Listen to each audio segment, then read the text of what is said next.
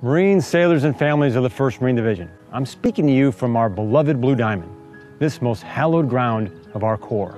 And we've been at this battle against the COVID 19 pandemic for over six weeks. The fight's not over yet, but here in the Blue Diamond, we are winning. I'd like to take this moment to personally extend my gratitude to all the Division Marines, sailors, and family members who are doing their part to prevent the spread of the COVID 19 virus in our communities. For the last several weeks, you've all played an essential role in this. You've made conscious efforts to maintain social distancing. You've avoided large gatherings. You wear masks and face coverings whenever necessary. You've worked hard to keep your equipment and your work areas and your common areas clean. You've limited your travel away from your barracks and homes to just essential outings only.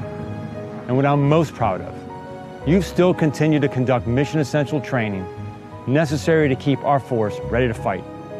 Across Camp Pendleton and 29 Palms, we're training. Commanders have made significant modifications to mitigate the spread of the virus while ensuring we continue to hone our skills at all tactical levels to fight and win.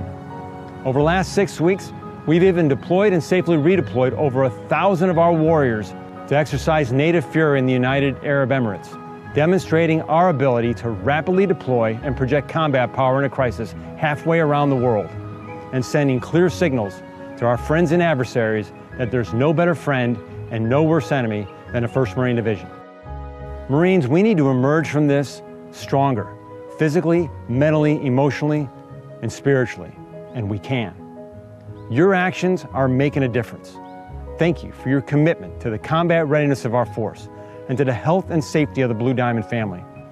And as always, and don't ever forget, the only thing better than being a Marine is being a Marine in the 1st Marine Division. Semper Fidelis.